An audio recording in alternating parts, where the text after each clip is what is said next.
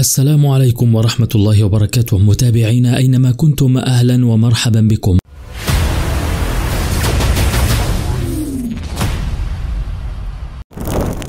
منح موقع سكواكا الإنجليزي النجم المصري الدولي محمد صلاح لاعب ليفربول أعلى تقييم في مباراة الريدز أمام ويستنهام التي أقيمت بينهما على ملعب أنفيلد رود بالجولة 28 من الدوري الإنجليزي.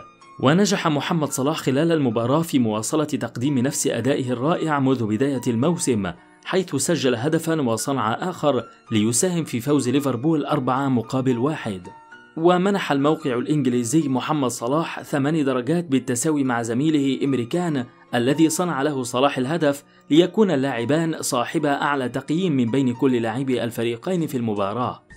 وقال سكواكا عن صلاح إنه يمكن اعتباره أفضل لاعب في الموسم الحالي للبريمير ليج وأنه كان قريبا من التسجيل بعد ثلاث دقائق فقط من بداية المباراة لولا تصدي القائم لتسديدته إلا أنه نجح رغم ذلك في هز الشباك.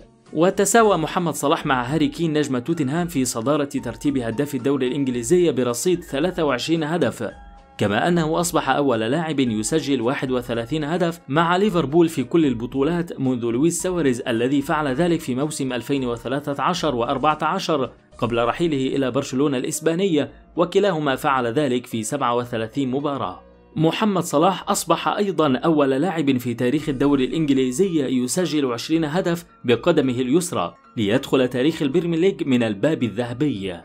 السلام عليكم. لا تنسوا الإعجاب بالفيديو والاشتراك في القناة. تشجيعا لنا لنستمر بنشر المزيد إن شاء الله.